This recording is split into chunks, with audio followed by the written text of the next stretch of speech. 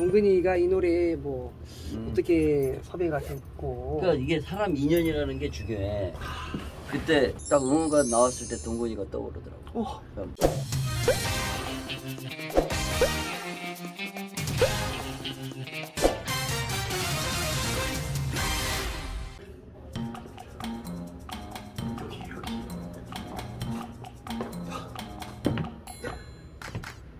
여러분들 제가 지금 왜 이렇게 호들갑인 줄 모르시겠죠? 데뷔를 하고 열심히 활동하다 보니까 이런 날이 왔습니다.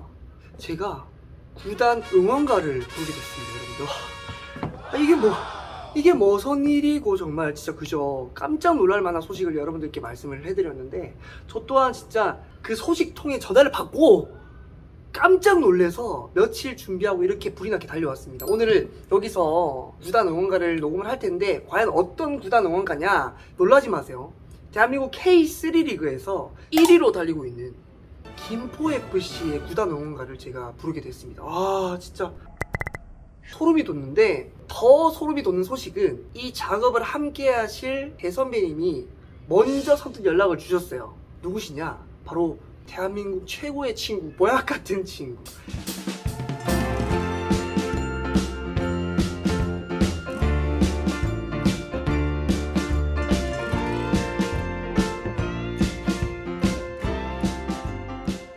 진심원 선배님이십니다. 진짜 진심원 선배님이 작업을 하실 때 제 목소리가 떠올랐대요. 동근이가 이 노래를 부르면 정말 잘 어울릴 것 같다라고 해서 먼저 연락을 주셨는데 정말 저에게는 정말 소중한 경험이고 대박 사건 아닙니까? 그래서 오늘 이렇게 불이 나게 달려왔습니다. 여러분들 오늘 어떠한 녹음이 이루어지고 제가 어떻게 노래를 부르게 되고 어떠한 변화와 과정이 있을지 모르겠지만 한번 기대해 주시면 감사하겠습니다. 여러분들 열심히 하겠습니다. 서로 오빠 화이팅!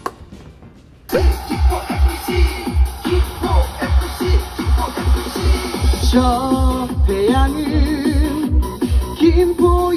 심장 이 넓은 평야 불꽃처럼 돌아 김포의 승리는 꿈을 이루고 몇 번만 더 불러볼게요. 좀 리듬 타면서 다시. 네.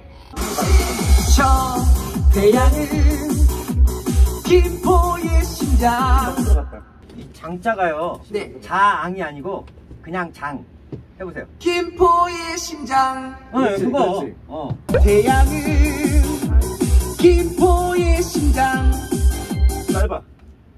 자, 장이 너무 짧아 지금. 네. 어, 태양은 김포의 심장 노래 들어봐봐. 네.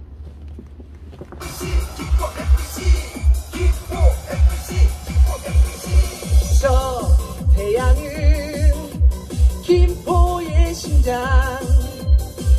김포의 심장. 김포의 심장 장하고 이제, 이제 끌어올리는 걸 하지 말라고.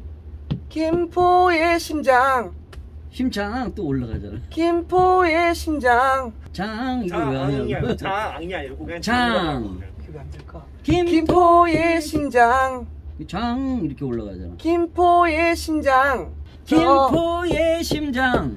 김포의 함성 이렇게 해야지. 저 태양은 김포의 심장 그렇지. 김포의 함성. 김포의 함성 그렇지. 그런 그런 느낌이지. 응원가잖아. 그냥 우리 가요처럼 부르는 것보다 군가스럽게 끊을 땐 끊어주고 그래. 그러게 운동장에서 그게 낫지 않겠어? 그 중간 중간에 또 장점이 나오는 데도 있으니까 응원가 하면서 장점 나오기 힘들어. 근데 이제 아까 그런 전체적인 그림만 1분 30초만 하면 노래하면 돼. 네. 걱정 없이. 어, 노래가 너무 좋아가지고. 부르면서도 신이 나는데. 군가가 뭐가 좋냐? 아, 너무 너무 좋은 노래. 제가 진짜 부르면서 신나요. 어. 근데 너 소리가 나쁘지 않아 잘 묻어 여기. 전체적인 느낌만 너가 이제 캐치하고 이제 노래하면 돼. 나쁘지 않으니까 걱정하지 마. 노래가 너무 완벽하다 보니까 제가 준비해온 제가 공부해온 느낌이랑은 좀 어, 제가 잘못, 잘못 맥을 짚었지 않나.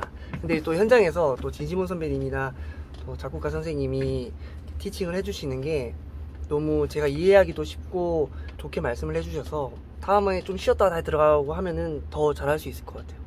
김포의 심장. 그렇지 그렇지 그죠? 김포의 심장. 그렇지. 그거야. 네. 바로 갈게.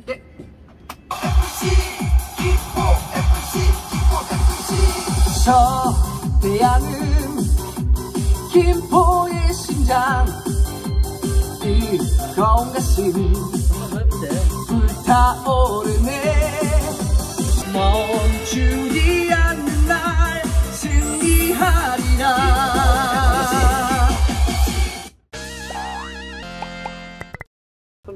한마디 할 말씀 뭐라고. 한마디 동근이가 이 노래에 뭐 음. 어떻게 섭외가 됐고. 그러니까 이게 사람 인연이라는 게 중요해. 그때 동근이하고 그 우리 낚시 방송 한 번 했지. 네. 동근이 노래를 많이 들었지. 밭에서도 듣고 바다에서도 듣고. 딱 응원가 나왔을 때 동근이가 떠오르더라고. 어. 그러니까 많은 가수들이 있는데 그 동근이 저 친구도 잘 됐으면 좋겠다 하는 마음에 동근이하고 한번 해봐야지 하고 이제 이거 저게 아. 뭐, 내 않았네 잘하고 있어. 이것도 경험이니까. 나 하던 걸 화이팅 대박은 맞아 그거 있어요. 제가 김포 FC 녹음을 하잖아요. 근데 지금 이 김포 FC가 전반기 리그가 끝나고 전지훈련을 갔는데 그 전지훈련 훈련지가 남해랍니다 여러분들. 그래서 그 저희 국수집 부모님 국수집에 한번 가서 식사를 어, 하신다고. 팀이 다 가기로 했어 다잘 수 있나 자리가? 갈 수 있어요. 다 올 수 있습니다. 진짜 이게 사람 운명이라는 게막 다 있나 봐요 이렇게. 그럼. 이제 인사 잘하고 이렇게 착하게 살다 보면 또 좋은 일들이 이렇게 생기는 거야 다 사람이 맞는 거야 열심히 착하게 겸손하게 살겠습니다. 감사합니다. 노래를 딱 만들고 들었을 때 제가 생각이 났다는 것 자체가 저에게는 이제 너무나 큰 영광이고 이번에 또 저도 처음으로 이렇게 구단 응원가 이 경험을 해봤는데 역시나 너무나 어려운 작업이었지만 좋은 공부했다 라는 생각합니다. 그리고 진, 진이모 선배님 만나기 힘드신 선배님인데 이렇게 먼저 선뜻 연락해 주셔서 진심으로 감사합니다. 사랑합니다. 당장 내일 경기부터 운동장에 그라운드에 이 노래가 울려 울려 퍼진다고 하니까 아, 경기에 가고 싶은데 조만간 한번 진짜 홈 경기 때 제가 몰래 한번 쓱 가가지고 한번 불러보려고 합니다.